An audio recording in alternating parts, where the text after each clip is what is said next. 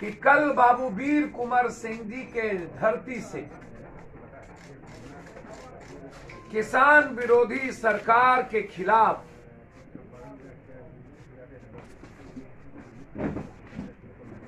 भारत के किसानों के आत्मा पर हमला करने वाली सरकार के खिलाफ किसान मजदूर रोज़गार यात्रा कल पाँच तारीख से बाबू वीर कुंवर सिंह के मैदान से शुरू हो। ये यात्रा पूरे बिहार में चलेगी। और मार्च में गांधी मैदान।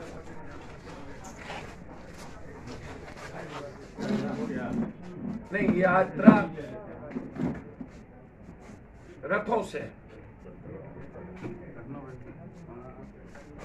हम बिहार के किसानों को बताएँगे। कि हिंदुस्तान में यदि सबसे ज़्यादा।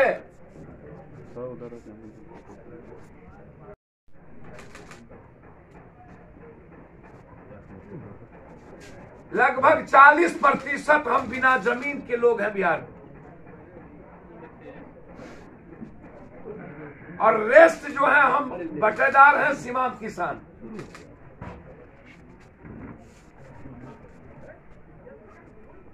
ये लड़ाई जो किसानों ने शुरू किया है, उसको बिहार समर्थन दे। और जौलत पड़ी तो बिहार से हम लोग ट्रैक्टर लेकर के गाजियाबाद और सिंधु बॉर्डर की ओर कुछ है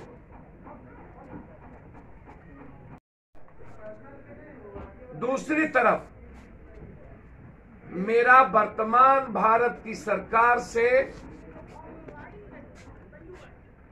एक सवाल है कि आप हमेशा बदलते क्यों?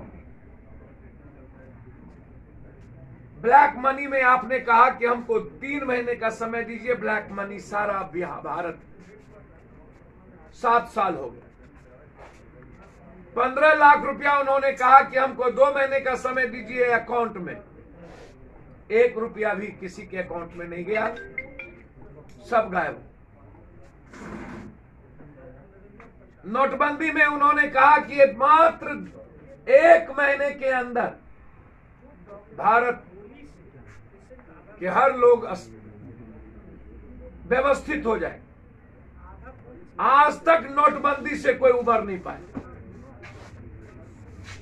जीएसटी में बोला, हमको इक्कीस दिन का समय दीजिए, पूरा बैलेंस हो जाएगा, आज तक नहीं हुआ। कोरोना वायरस में बोला, हमको एक महीने का समय दीजिए, भारत, श्रेष्ठ भारत बन के निकलेगा।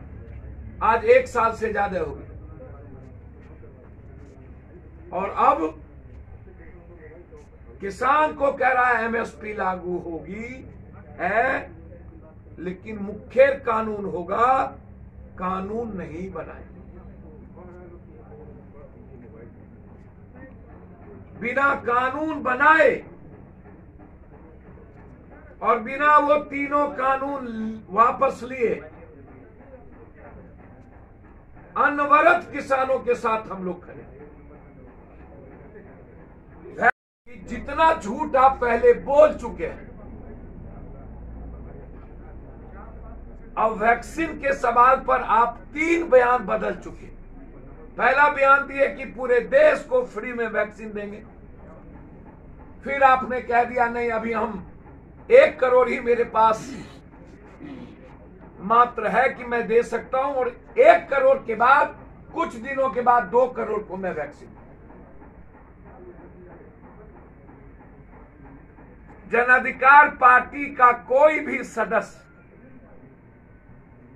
तब तक वैक्सीन नहीं लेगा जब तक आप हिंदुस्तान के आम आदमी को वैक्सीन नहीं देते।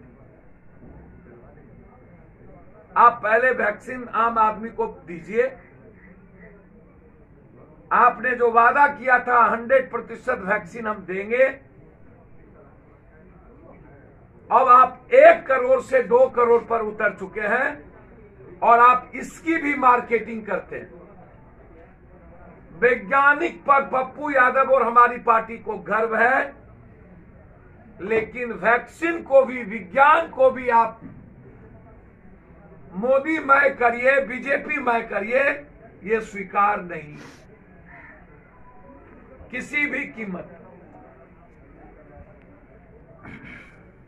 हमें हिंदुस्तान के लोगों का वैक्सीन चाहिए।